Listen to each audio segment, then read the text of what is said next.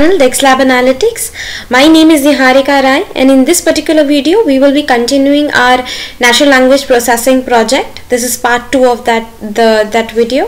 If you haven't watched my previous video please click on the i icon on the top right hand side corner of your screen so that you are directed to those videos. Also share, like and subscribe our channel if you haven't already. Um, so let's get started with the video we are using the same data continuing the same project uh, in our previous video. For uh, now from uh, from the moment we um, our lemmatized our text and stored it in lem or stem for stemming in that case. Now what we are going to do is we are going to import NLT from NLTK library frequency distribution. So we want to see how many um, uh, the frequency of basically the words which are there in the text. So for that we are using frequency distribution method and we are storing it in f uh, variable and stem is nothing but the stem uh, stem variable which, in which our data was or originally stored. After that what we are going to do is uh, we are going to apply the most common uh, method here. And we are going to take 10 as a variable. And this is going to loop in with the uh, with this particular for loop. And we'll get a result as j. That is whatever the variable name is and whatever the count of the number is. So this is going to count the numbers as well as this is going to give us the name of the numbers as well. So original data will go in j and the count will go in i. And here we have uh, print j colon and then we have um, i here.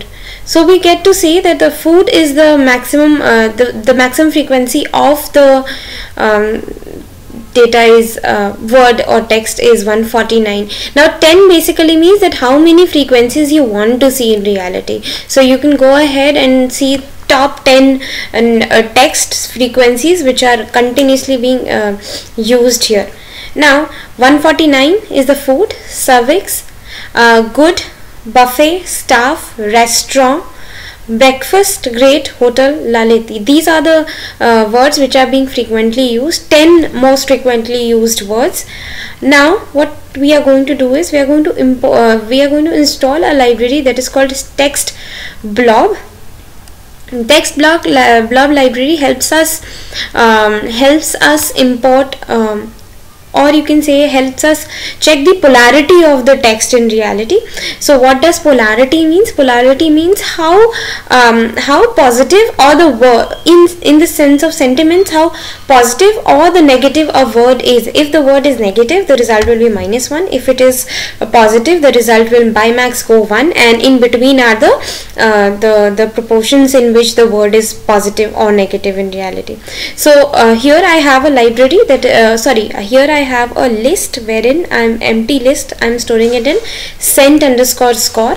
And I'm going to use that same stem uh, stem which we have uh, uh, used uh, variable which we have used uh, to store our stemmed data. And stem is being one by one each letter will go inside this particular method. And sent underscore um, underscore score uh, list will be uh, appended by the polarity of the text. So here we are using TextBlob i, i is the word dot sentiment dot polarity. So polarity will give us the um, the polarity of the original word. Now once we have that what we can do is we can uh, arrange we can uh, use a dictionary that is word whatever the word is and use the polarity sense score uh, and store it in a dd variable creating a dictionary.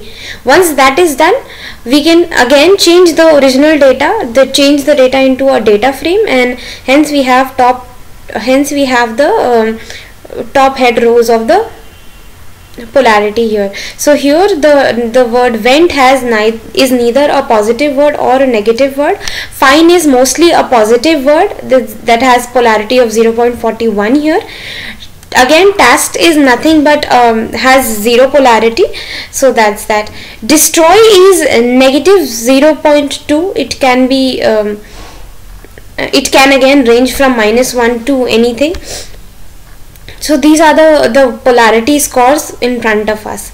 Now what we are going to do is um, we are going to see that uh, what is the which word has the maximum of polarity. So here we are using a condition which states dd polarity score double equals to dd polarity score. If polarity score is is equals to the maximum of polarity score we want the word of word uh, the column of word here. We want the result in um, the word and the polarity score extracted from the original data frame. Once we do that we have a word polarity and a word polarity underscore score. And here we go. We have superb best best superb best perfect also has a polarity of 1 that is the most positive word you can say. So all these words are being constantly being repeated here. So one more uh, thing to do is we can uh, we can use the value count method to count how many times this particular word uh, is being used as well. For but that is uh, a question of that is something you can try on your by yourself. Now what we can do is uh, we can also take the count of uh, you know maximum uh, frequency words. So again we have taken if the polarity score double equals to the maximum of polarity score then just take the count of that. So how many how many words have the polarity of 130 30 words are there that have the polarity of 1 here uh, again minimum score minimum score is the uh, word for worst. So here we have polarity score equals to polarity score minimum. Word polarity we have the worst of the worst polarity as minus 1 so here we can see that the polarity is minus 1 that means the most negative word is worst. Again we can take the count as well and how many then then let's say that how many uh, words have the polarity of 0 here. So the polarity of 0 uh, is um, here uh, can be extracted with the help of this particular method where I just condition that if the polarity score double equals to 0 0.01 uh, um, then extract the word and the polarity score here. So we have uh, word polarity score and uh, we are able to extract that. So went lalit hotel task service buffet read tea um, weight quality food these all have zero polarity score. If we count that by using this particular method we get um, if uh, 4951 as a result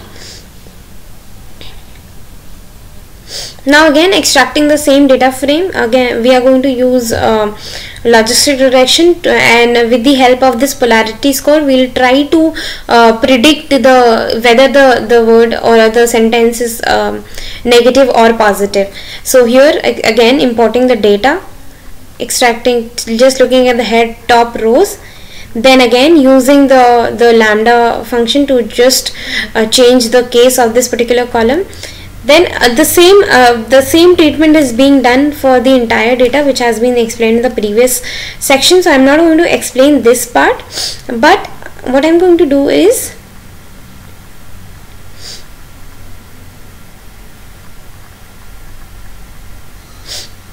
I'm going to just quickly go through these codes and not directly explain them. You can see my previous video for the detailed explanation of these methods. Removing the stop words here extracting the text from the original data frame. We have nltk.corpus stop words to import to remove the stop words from this particular text which is being stored in text method. And then this txt uh, is uh, being uh, used to create a new list um, here and then this new can be um, uh, written like that. And we can also remove all these spaces that are there. If there are any spaces just uh, sorry if there are any um, values that uh, that need to be replaced we can replace that as well. So yeah if that's the case. Now w is being used inside this method just for you know um, explanation. We'll just get through this in a second. Um, here what we are doing is we are trying to remove the punctuation. For that we are um, making a function that recognizes a letter and if there is any um, letter that is matches to the punctuation we'll remove that. So x and k are the variables here and k is the text and x is what has to be stored and given back returned. So once the punctuations are removed we can see the text again and that's that. Now we want to also remove the digits. So to remove the digits if the word is a string what we can do is we can take a range values for each range 0 to 9 and if the range is there then in that case we can remove that.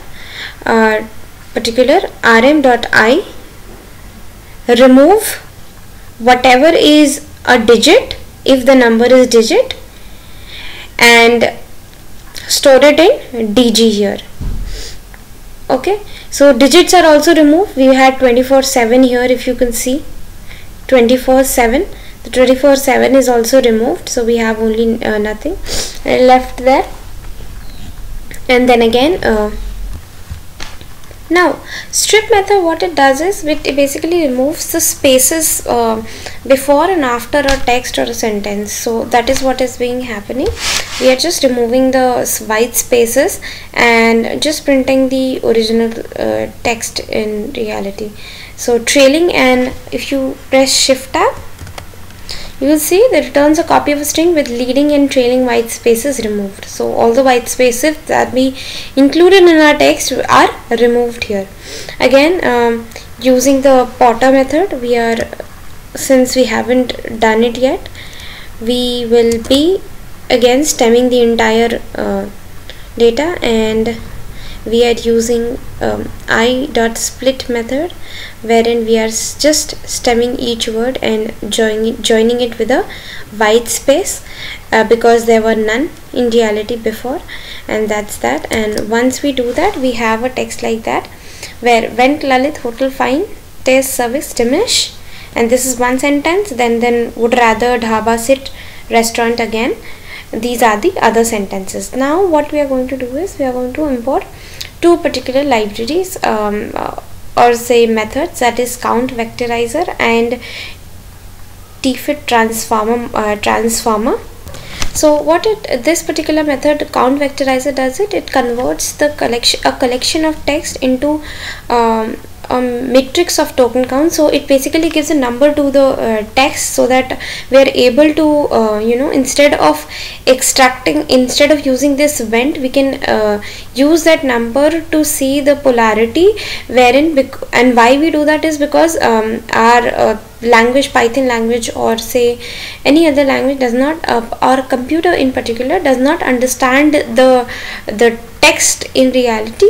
So what we do is we give them numbers and then we try to um, uh, if we want to predict the future uh, future data uh, wherein you say that this particular sentence is a is a a negative sentence or a positive sentence. So with the help of uh, this uh, particular count vectorizer we'll be able to do that uh, without using the original text. The numbers will be used to predict the polarity of the uh, predict the polarity of the original text. So what we are doing here is we are um, storing this method in vectorizer and in vectorizer we are fitting the final data which we have created that is r that is this text and fitting the original data and then again in machine learning we transform it as well. So we are transforming it uh, the data um, uh, on the vectorizer method and we are storing it in RT now now the count vectorizer vectorizer gives the data the return it returns a value in counts uh, and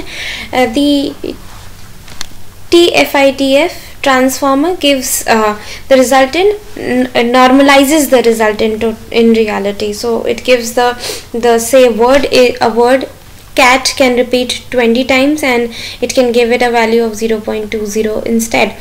So that's that. Now um, now again store using the value as uh, using the original data rt and storing it in tdf here and tdf dot to array r underscore d. Now we are converting this entire uh, tdf count into an array format. Now again uh, taking the polarity uh, polarity of each value what we are doing here is we are using um, a lambda function storing it in p wherein we have the lambda x TextBlob x sentiment dot polarity. Now again running the original data in this polarity uh, method. We have r text storing it in p so the, the the result is in terms of polarity.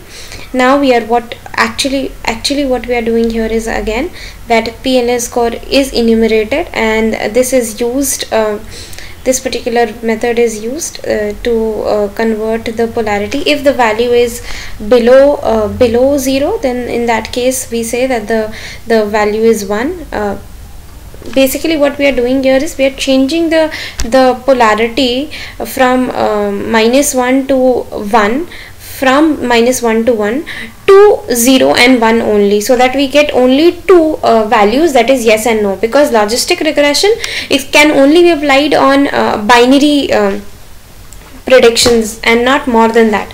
So for that we are converting this entire uh, count vectorizer and all that polarity sorry thing into uh, 0 and 1 instead of the range between 0 and 1 uh, minus 1 and 1 so that's that. So if the the word is if the polarity is less than 1 then that in that sense we say that the word is negative. And if in case the the polarity is um, greater than 1 in that case we uh, say that the polarity should be 1 instead. So once we run that and j is nothing but is um, is the value or the index of that particular list and uh, that's that. And on that list we are updating or changing the the actual result here. So now now what we have is uh, a data which uh, which is a column which can be predicted in terms of yes or no or say negative or positive instead of uh, minus, uh, minus 0.2 or minus 0.3 here. Now again changing that the, the the change again changing the the data into an array and in the variable is here. Now converting calling the tra train and test column uh, method here and changing the entire data into train and test. We are taking 30% of the test size. Um, random state is 0 in our case. Um, now uh, again importing the logistic model here and logistic regression storing, in, uh, storing it in model uh, variable and then fitting the data that is x train and y train in model and again model check and checking the scores of the same. So once that score is checked we see that the 80% of the predictions are being uh, are almost correct in this regards and the intercept is minus 0.47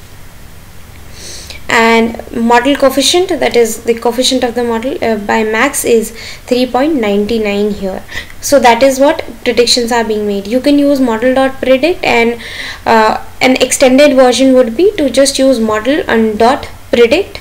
Um, use your test data to predict the y data instead and see if the, the, the, the data is in reality negative or positive.